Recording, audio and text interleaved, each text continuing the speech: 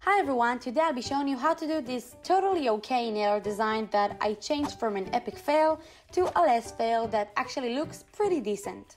This is a dark gray marble design and I'm like not 100% sure that I understand how to do this technique.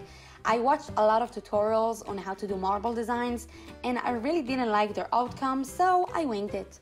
You can obviously do it with nail polish but I didn't have these colors so I used acrylic paint.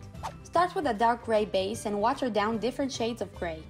Apply the different grays on your nails and you can do it in different directions and shapes and if you need to fix anything you can always go back with the dark. Even if I'm not sure that I know how to do marble nails perfectly, I still have a video showing different ways on how to achieve this look. So if you're gonna be good at it, then you can use one of the ways.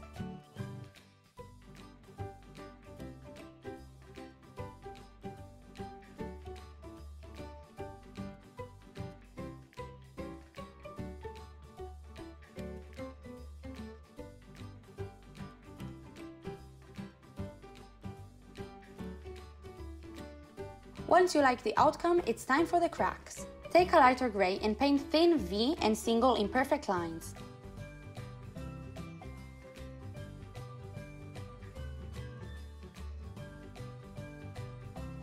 I felt like it was too light, so I added some dark gray. Felt the same thing about the lines, so I just added some watered down dark gray on top to make them darker. So far so good, but then I had to ruin it. Because I was inspired by a design that I saw on Pinterest, it had gold dots surrounding uh, as an outline for the nail. So I did it too and it looked just awful because the color wasn't perfect and I suck with dotting tools. After that colossal, I thought maybe covering it up will be better and it was. So I just went over it with some white outline. I think it would have looked better with a thinner white outline, but I had to cover up the gold. But if you want to do a thinner line, then you should probably do it.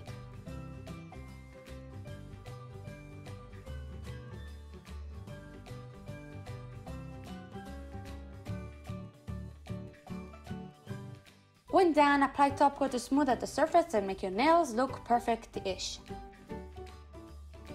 Hope you guys enjoyed, make sure to subscribe for more videos like this and give this video a big thumbs up, and I'll see you in my next video. Bye!